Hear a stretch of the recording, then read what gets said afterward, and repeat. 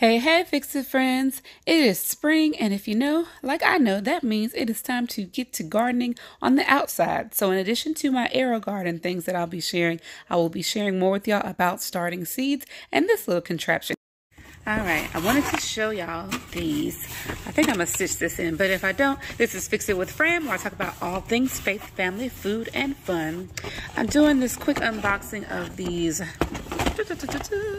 Burpee Super Seed reusable seed starting trays. So I heard about these in some of my um, Facebook groups or some of the gardening groups that I'm in on Facebook.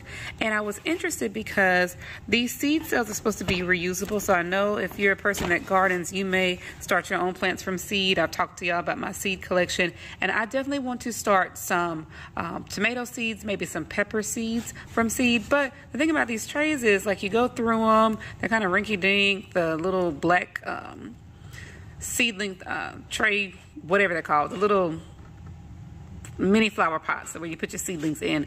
Sometimes they are just real fragile and with us having the kind of weather that we have down here in Louisiana, um, they can break, they can get blown in the wind, knocked over. So this I was interested in one because it would be um, saving resources, not having to buy those every time or go in the little bartering groups or exchange groups or community aid groups to um, get something that you're not buying more and putting more waste on the environment.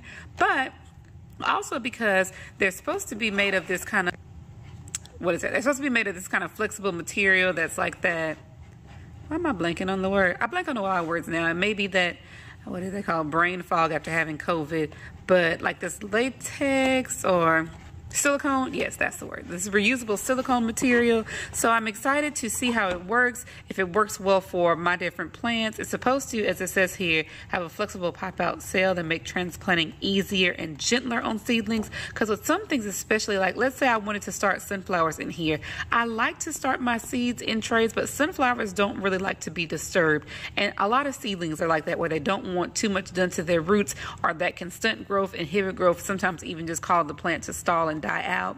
So maybe something like sunflowers would be great because I'd like to make Monica a little sunflower garden in the backyard, but I don't want to just put them down in the grass and my husband mow over them before they really get up and growing.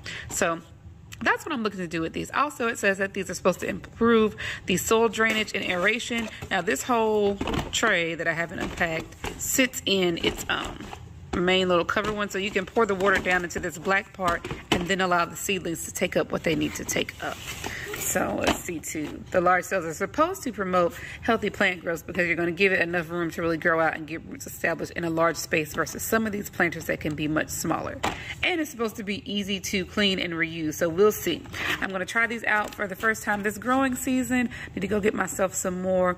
Um, I think I have some uh, potting soil or seed starter mix in the garage, so I'll get that out. But it was just two of those. I ordered them from Amazon. I'll put it in a screenshot and let y'all know, but that's some of what I got going on, growing on over here, or at least what I'm about to have growing on.